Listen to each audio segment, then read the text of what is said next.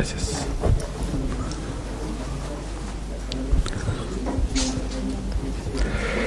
Muy buenas tardes, amigas y amigos de los medios de comunicación.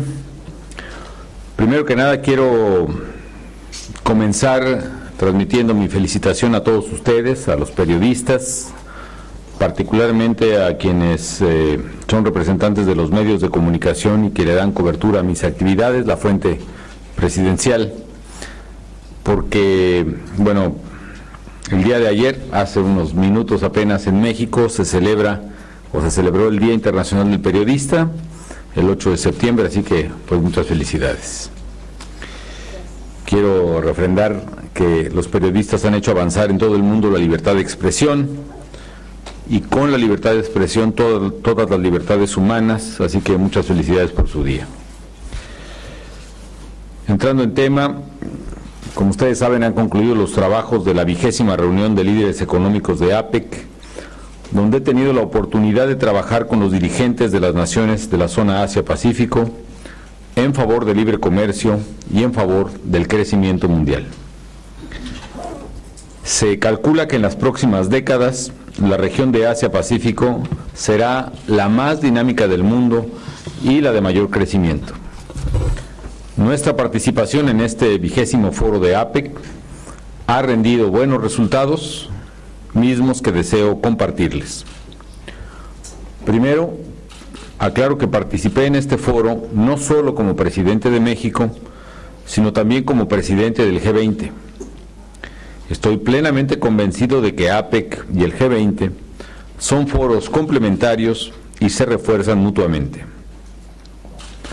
Compartí con los líderes presentes los resultados a los que hemos llegado en nueve meses de trabajo al frente del G20 y particularmente presentamos los acuerdos que alcanzamos en la reunión de los cabos en junio pasado. Como ustedes saben, el próximo mes de diciembre será en el que Rusia asumirá la presidencia del G20. A nosotros nos da mucho gusto que este gran país, que es hoy nuestro anfitrión, asuma la dirección de un grupo de líderes comprometidos con el desarrollo y el crecimiento mundial. México entregará a Rusia un G20 sólido, dinámico y con gran disposición al diálogo y al acuerdo.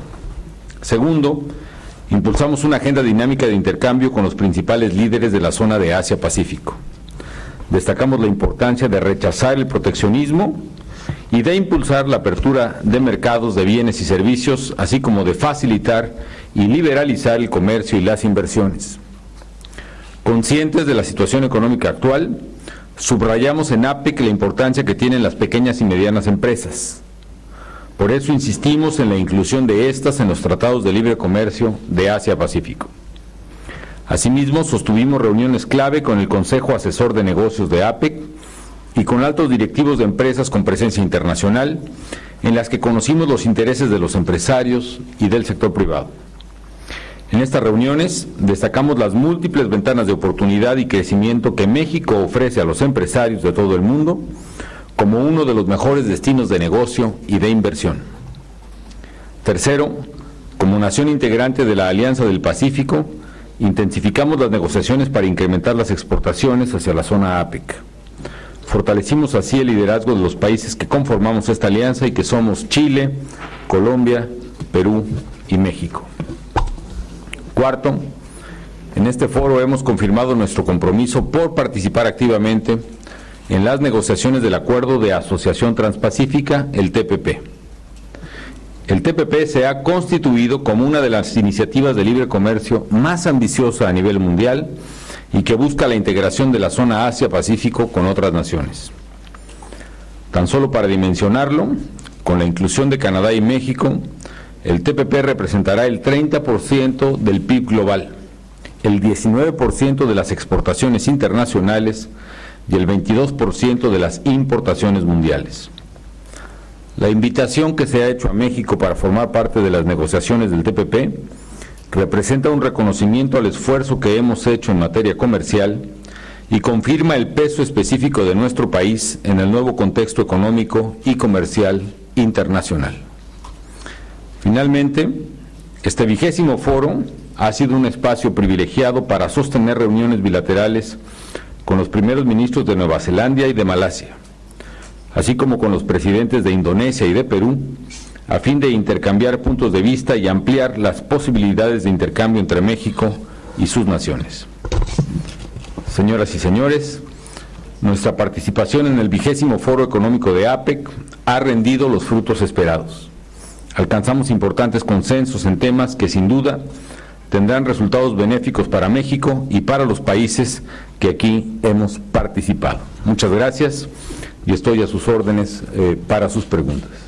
Eh, Berta Becerra, del Sol de México. Se queda o se va del país cuando termine su mandato.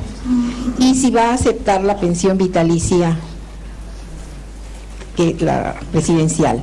Y finalmente, ¿qué sensación le deja que un gran segmento de la población le adjudique más de 60 mil muertos en lo que consideran una estratégica, una estrategia mala, una estrategia fallida contra el crimen organizado. Muchas gracias. Señor. Al contrario, gracias. Bueno, primero, soy un demócrata y respeto las decisiones del pueblo de México. En la transición entre poderes, considero que lo que más conviene a los mexicanos es que haya respeto recíproco y respeto a la ley y a la decisión de los mexicanos y por supuesto que no hay nada más allá más que el respeto a la ley, a las instituciones. Y yo reitero que por el bien de México deseo que haya éxito para el nuevo gobierno en la tarea que más allá de partidos y consideraciones políticas implica generar bien común para los mexicanos. Lo segundo es que no he decidido todavía eh, mi futuro, estoy analizando las distintas opciones que se me han presentado. Mi prioridad será en todo caso mi familia, la formación de mis hijos y desde luego encontrar las mejores opciones para desarrollar una trayectoria académica, eh, que es la actividad más probable a la cual me dedique después de la presidencia. En términos de las condiciones eh, o prestaciones que correspondan al Ejecutivo, yo estaré atento y sujeto a lo que disponga la ley y los ordenamientos legales vigentes respecto del caso de los expresidentes de la República. Y finalmente respeto las opiniones de todos los mexicanos. Mi principal objetivo en materia de seguridad ha sido hacer de México un país de leyes, en un contexto en el cual las organizaciones criminales son responsables, no el gobierno, sino las bandas criminales, de actos de violencia y brutalidad que todos los mexicanos lamentamos, pero que son imputables y son responsabilidad fundamentalmente de los criminales mismos. La participación del gobierno ha sido para enfrentar a los criminales y reducir esos niveles de violencia, de tal manera que esa intervención, particularmente los operativos del gobierno, no son la causa del problema de la violencia, sino han sido parte de la solución. Y en ese sentido, eso es lo que tendría que decir. Gracias, City. Ragil de Kyoto News. Buenas tardes. Buenas tardes, señor presidente. Quería preguntar acerca del TPP, eh, la Asociación Transpacífico. Su país acaba de, de, acceder o adherirse al TPP. Quisiera saber qué quiere lograr México al hacerlo y si tiene alguna idea de cuándo va a ser la primera reunión a la que va a ir México y ha oído si hay algún plazo establecido para el año que viene. I will answer in Spanish, if you allow me. Bueno, primero lo que buscamos en el TPP es crecimiento y empleo para México. Y lo hacemos porque sabemos que la región más próspera y la de mayor crecimiento en esta década será la región Asia-Pacífico. Y el TPP es la iniciativa más audaz y más activa de intercambio comercial e integración económica precisamente en la región más próspera que es la región Asia-Pacífico. La primera reunión no solo la vamos a tener, la tuvimos en el marco de esta reunión de APEC en Rusia. Fue una reunión muy exitosa. Y aunque desafortunadamente no vislumbramos que se pueda concluir la negociación del TPP en este año 2012 como esperábamos, se han establecido metas muy claras para concluir esas negociaciones precisamente hacia diciembre del año 2013. No me tocará ya verlo como presidente de la República, pero celebro que me haya correspondido iniciar este esfuerzo por parte de México de formar parte de estas eh, economías que serán las que tengan un desarrollo más intenso y un crecimiento más acelerado, no solo en la región, sino en todo el mundo.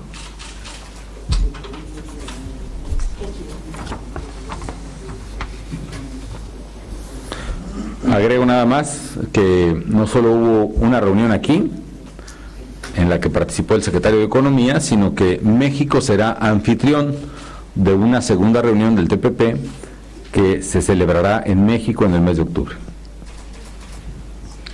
Gracias, Ivonne Melgar. Gracias, presidente. Buenas tardes. Mm, señalaba hoy un expresidente del PRD, Jesús Ortega, que su partido había tenido en este sexenio una relación de esquizofrenia con el gobierno federal. Eh, mm, nos gustaría conocer cuál es eh, el balance que usted tiene de eh, los perredistas, de las izquierdas, llamadas izquierdas, como compañeros de viaje en este sexenio.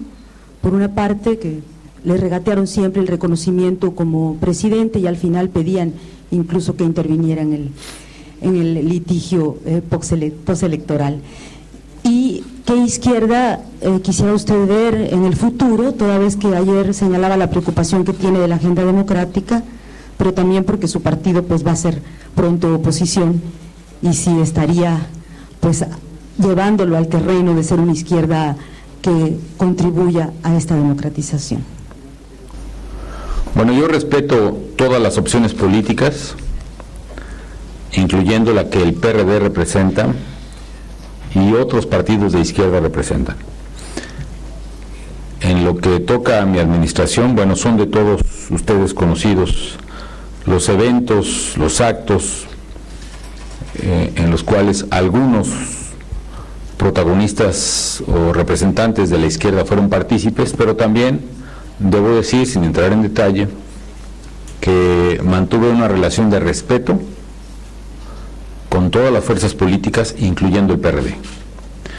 Y hago votos porque en este proceso de redefinición de los perfiles y las estrategias de los partidos políticos, tanto el que estará o los que estarán ahora en gobierno como los que estarán ahora en oposición, prevalezca una vigencia democrática de respeto a las instituciones, de respeto a las decisiones de los mexicanos y sobre todo de debate de ideas y de propuestas sobre las cuales los ciudadanos puedan decidir en el futuro sus mejores opciones. A México le hacen falta partidos políticos fuertes, bien definidos, representativos de ideales y aspiraciones de los mexicanos, y en ese sentido, tanto los partidos que estén en el espectro más a la derecha más a la izquierda, en el centro, en fin, requieren una solidez institucional, una claridad de propuestas y una vida institucional, institucional propia, bien definida y clara. Sin compartir sus ideas y sus propuestas, yo aspiro, deseo, que el PRD mismo tenga esas características, una vida institucional propia, ideas y propuestas bien claras y definidas, y por supuesto un claro respeto a la vida institucional del país y a la decisión de los mexicanos. Gracias. Raúl Lozano, de Radio 13. Gracias, buenas tardes, señor presidente. Gracias por la felicitación de periodistas. Bueno, y este preguntarle, el gobierno de Estados Unidos ha señalado que se otorgue inmunidad al presidente, al expresidente Ernesto Cedillo, pues justificando que es para mantener las buenas relaciones entre México y Estados Unidos. ¿Qué opinión le merece eso? Y también, a la fecha, ¿cuál es su relación que mantiene usted con Josefina Vázquez Mota? ¿Es cierto que le faltó a su campaña, a su campaña apoyo del gobierno? Bueno, por lo primero, yo respeto la decisión del gobierno de Estados Unidos y del Departamento de Estado en el caso del expresidente Ernesto Cedillo y no tengo pues nada más que comentar al respecto. Lo segundo es que en mi gobierno hemos tenido una buena relación con la administración del presidente Obama, cooperativa en muchos aspectos y no exenta desde luego de tensiones y de momentos difíciles. Incluso quiero aprovechar su pregunta para reiterar la enérgica protesta del gobierno de México por los muy lamentables acontecimientos en los cuales perdió la vida a manos de un disparo de la patrulla fronteriza norteamericana, un ciudadano mexicano en la frontera de Nuevo Laredo. Ya hemos externado la protesta diplomática respectiva, hemos iniciado las averiguaciones previas por parte de la Procuraduría General de la República en el lado mexicano y exigido una investigación a fondo en el lado americano con el consecuente castigo al o los responsables de este hecho pues inaceptable. Son varios los mexicanos que han perdido la vida de esta manera y desde luego que no aceptamos que el uso de armas de poder letal se utilicen en actos preventivos de, o inhibitorios de la migración a Estados Unidos que consecuencias fatales como las que se vivieron hace unos días en Nuevo Laredo son inaceptables para México y exigimos castigo a los culpables. Eh, finalmente, en el caso de Josefina Vázquez Mota, yo reitero mi profunda admiración y afecto a ella, admiración por la ejemplar campaña que ella llevó adelante, afecto personal que viene desde hace muchos años, gratitud no solo por la colaboración que tuvo conmigo en el gobierno que tuve el honor que tuve yo el honor de encabezar, sino también gratitud por el enorme servicio que le ha brindado a México siendo representante de lo que yo considero la mejor opción política para los mexicanos, que es el Partido Acción Nacional. Yo hago votos también para que el liderazgo de Josefina Vázquez Mota siga generando bienes públicos, siga despertando la conciencia de los ciudadanos y que contribuya desde luego a la mejora de las condiciones políticas que México necesita para perfeccionar su democracia. Le tengo un gran afecto a Josefina, no tengo una diferencia, no tengo ninguna diferencia con ella. Respeto, valoro y agradezco su enorme esfuerzo y me parece un personaje fundamental para la construcción de las condiciones políticas futuras del país. Así que desde aquí le externo mi gratitud, mi respeto y mi admiración. ¿No faltó apoyo? ¿La apoyaría para ser presidenta del PAN? La verdad es que el apoyo que yo pude darle es el apoyo que le puede dar cualquier demócrata. Mi simpatía, desde luego, mi voto, que por supuesto fue, por supuesto fue para ella, y desde luego la honesta simpatía que sentí y siento por su propia candidatura.